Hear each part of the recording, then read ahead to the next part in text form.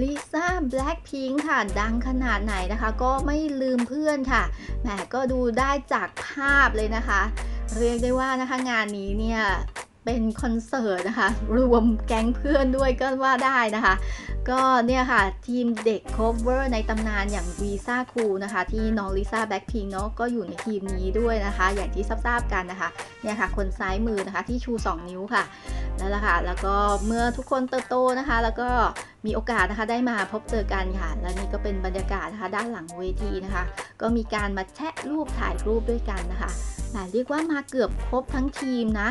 มีแต่แบมแบมนะที่ไม่เห็นนะคะ ก็บางคนมาไม่ได้ก็อย่างที่เห็นนะคะ มีการถ่ายรูปนะคะ มีการไลฟ์นะคะผ่านมือถือนะคะ เพื่อจะร่วมถ่ายรูปด้วยนะคะ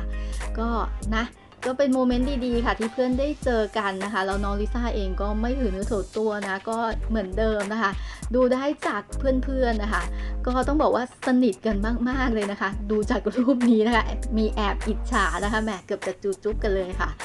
ก็นะก็เป็นบรรยากาศนะคะหลังเวทีนะคะที่น้องลิซ่าแบล็คพิงค์ค่ะได้กลับมาเจอเพื่อนๆด้วยนะคะ ก็เรียกได้ว่านะคะเธอนะคะไม่ว่าจะดังขนาดไหนเนาะก็ไม่เคยลืมตัวเลยจริง ๆ ค่ะสำหรับสาวน้อยคนนี้นะคะ ก็ยังคงสดใสล่าเริงนะคะ แล้วก็มีจิตใจที่ดีค่ะแอดก็เอาภาพมาฝากกันนะคะ ก็ก่อนจบคลิปก็อีกเช่นเคยนะคะ อย่าลืมค่ะกดติดตามนะคะ แล้วมาเจอกันใหม่ค่ะ ในคลิปหน้า